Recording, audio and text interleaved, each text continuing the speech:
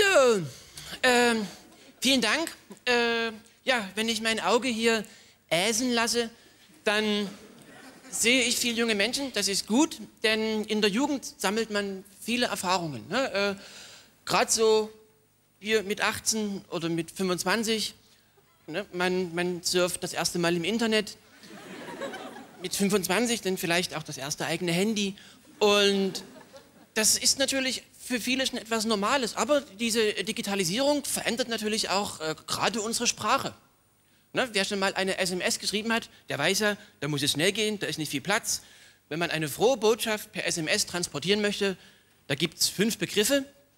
Lach, Grin, Zwink, Freu, Hurra, Fick, Fick. So.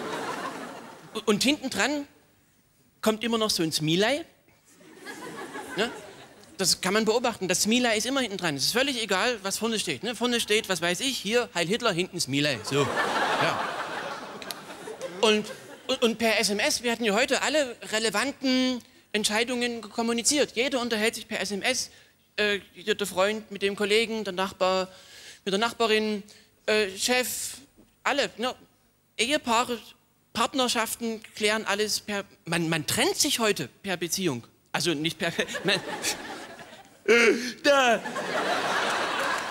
Ich bin ein Filou. Da, aber es ist ja nicht falsch. Also bevor man sich kennenlernt, sagt man, äh, hör mal lieber auf. Also man hat vielleicht sogar schon mal Geschlechtsverkehr ausgeübt, aber trotzdem, das Adieu schreibt man sich per SMS. Das muss man sich mal vorstellen. Das ist doch, ne, man hat was zusammen erlebt man, und dann per SMS, das finde also ich, ich habe noch einen Fax geschrieben. ne?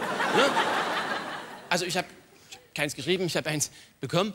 Ähm, und ich sage mal so, diese Tendenz kann man jetzt gut finden oder nicht. Das Schlimme ist, man kann sie nicht aufhalten. Das Internet ist im Kommen. Das sage ich ja nicht erst seit heute, das, das habe ich, hab ich schon vor drei Wochen gesagt. Und wir sehen es ja, überall Computer. Jedes Büro ist veräppelt.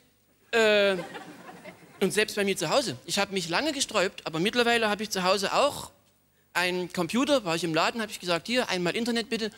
Und ich kann mich dem nicht entziehen.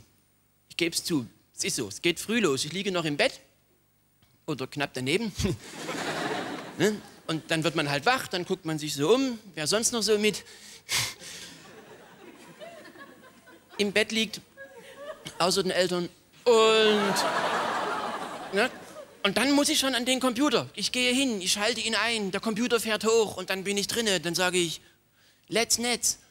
Und ne, dann, dann wird erstmal das Datum gecheckt. Ne? Da gehe ich auf heute.de. Oder wenn ich länger geschlafen habe, gehe ich auf Morgenorg, logisch. Ne? Und dann bin ich drinne und dann, dann, äh, dann wird das erstmal gepostet. Dann schreibe ich meinen Jungs, hey, hallo Jungs, Heute ist Donnerstag. Woo, ne? Ja, und das ist aufregend. Das ist sicherlich auch für viele verlockend, aber es ist auch eine Gefahr.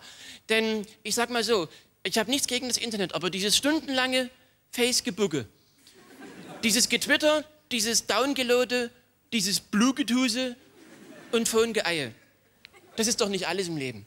Es gibt doch viel mehr. Es gibt doch, Mensch, unsere Welt ist so bunt, die Welt ist so vielfältig, es gibt so viel zu entdecken, es gibt, was weiß ich nicht, ne? Da müsst ihr eben mal googeln. Und dann äh, stößt man doch auf jede Menge interessante Inhalte. Und was mich aber betroffen macht, ist, dass, ähm, ja, dass sich niemand um den Datenschutz kümmert.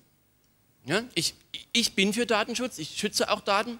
Ich wäre auch bereit, eure Daten zu schützen. Ja, aber um eure Daten schützen zu können, dann muss ich sie erst mal haben. ne? Und da sind wir Deutschen zu engstirnig. Ne? Wir wollen immer das alles selber machen. Das geht nicht. Jetzt ist es, der Zug ist eh abgefahren. Jetzt schützen die Amerikaner unsere Daten. Na, jetzt macht es ja hier die, die NSU, äh, die NSA oder NSE oder wie, irgend so ein NS. Ne? Und da bin ich also, da, da bin ich erschüttert, dass sich keinerlei Widerstand trägt. Ne? Also ich habe mir diese Überwachungspraktika, ich lasse mir das nicht gefallen. Ich, ich habe eine Protestmail geschrieben, direkt ans Weiße Haus. Ja? Also habe ich unter eigenem Namen, also natürlich unter fremden Account, klar. Olaf mit PH. Hm. Da merkt man, ich bin ein Fuchs. Und habe ich also geschrieben ans www, www Internet, äh, also at, at whitehouse.de, also us.de, ähm, slash zh Barack. Ne? Also direkt zu Händen Obama. Und dann habe ich geschrieben, betreff Überwachung, Smiley. Und dann habe ich in solchen großen Buchstaben drunter geschrieben, wer das liest, ist doof. So. Ja. Ich weiß, ich bin Olaf genug. Also mit einer E-Mail, da können wir nicht viel ausrichten. Aber wenn einer durch mich ermuntert oder vielleicht zu Hause am Empfangsbolzen, wenn einer durch mich sich erkühnt fühlt, jetzt auch eine E-Mail zu schreiben und den, die gleiche Zivilcourage hat wie ich, wenn wir noch eine E-Mail schreiben, dann hätten wir den Druck auf die USA verdoppelt. Denkt mal drüber nach. Vielen Dank. Olaf Schubert! Vielen Dank!